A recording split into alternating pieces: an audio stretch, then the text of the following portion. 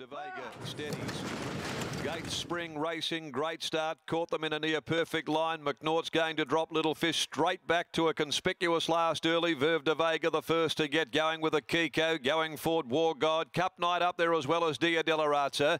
And Nelson's Flight settling in behind those. Then a length and a half to Dutch Spy being followed by Little Fish. And dropping out last is Count Tomozov. 800 left to go. Onto the side they run in Akiko. Given rain now here by Party Races to a clear lead. Out by two lengths on Verve de Vega. A length and a half, two on the outside. Dia Della Razza on the fence. War God travels up there fourth. Trailed in turn by Little Fish down on the inside of Cup Night. Over on the outside of those, Nelson's Flight pushed three and four deep coming into the home corner. And then Dutch Spy last is Count Tomozov, but it's Akiko first into the bend. At the 350, a length and a half. Dia Della Razza, Cup Night now clear. Down the outside, Dutch Spy runs on. Little Fish searching for an inside run at the 150. Over on the outside, Dutch Spy, Cup Night, Akiko on the rail, Little Fish. Dutch Spy's got the head in front, however. It's Dutch Spy. Dutch Spy goes home. Dutch Spy wins from Little Fish. Cup Night third ahead of Akiko. And then Nelson's Flight. War God was next in. In behind them, Count Tomozov. Dia Della Razza dropping out. And the last one home is Verve de Vega.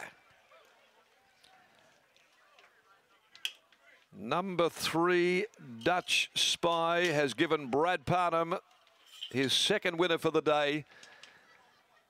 18 months from the time he rode a city winner off the scene, and he's made it a double.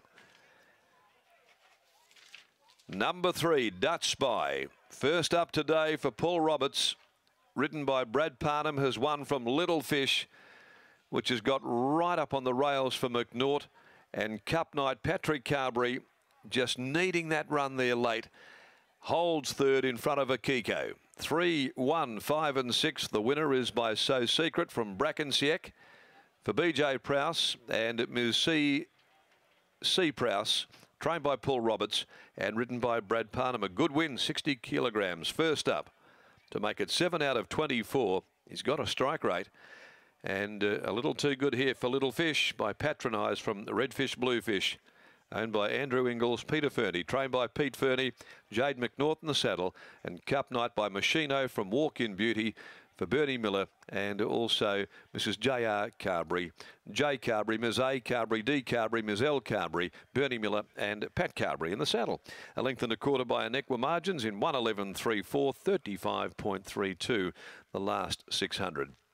So a very good win here by Dutch Spy, which is uh, monstered the line, ladies. A big hulking type of a seven-year-old.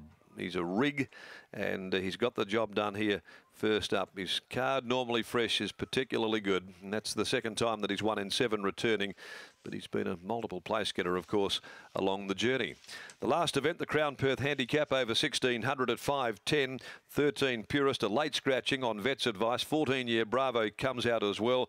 12 to run. Let's go down there to Brittany. And if it doesn't rain at Fair Dinkum Pause, as uh, we take it down there with you, Brad Parnham kicks home a double. Yes, it's always the way, isn't it, Darren? And he still has another good ride to come in the last, so let's hope for Brad's sake it can be a treble. But for now, it's a double. Paul Roberts, congratulations. Dutch Spy, well, he trialled well in the lead into this. Yeah, he did. He trialled really well. His first up trial was awesome, and then the other day we just gave him a pretty quiet trial, and he probably could have won it. If, it's not the sort of horse you can put on the inside, but he, Brad put him away on the inside, and he trialled nicely, and his work's been really good since. So. Uh, yeah, not a, not a surprise to us that he that he could get up. I just wasn't sure how good Cup Night and or how forward Cup Night was and and Little Fish. So yeah, that's good.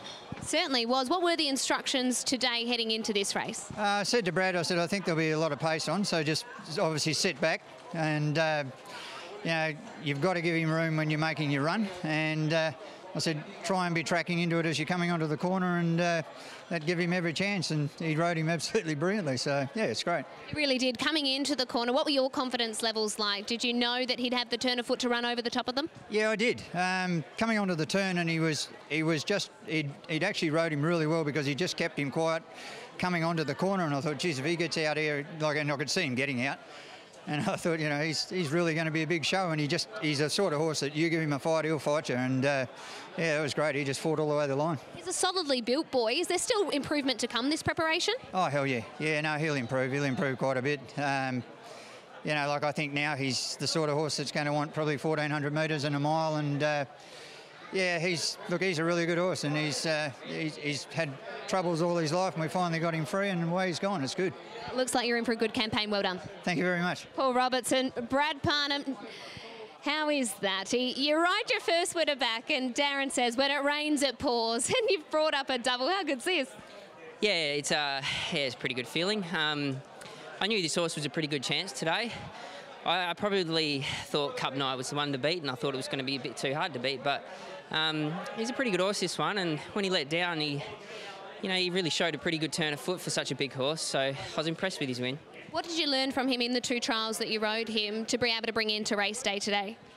Well, he's just such a big, strong horse, so I wanted to give him plenty of room. Um, I didn't really, really, want to be caught up in amongst him, Um, so that's why I brought him to the outside, and I knew if he had galloping room, he would run a good race. And uh, yeah, fortunately, it was better than all the others. You obviously didn't know, I guess, how good or how forward Cup Night would be, but coming into the corner, did you feel like he was travelling like the winner?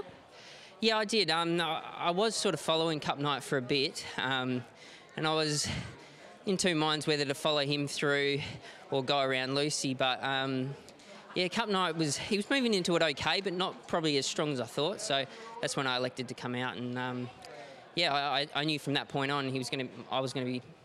You know, he, my horse would have been very hard to beat. Yeah. Well, it was the perfect move in the end. Well done on the double.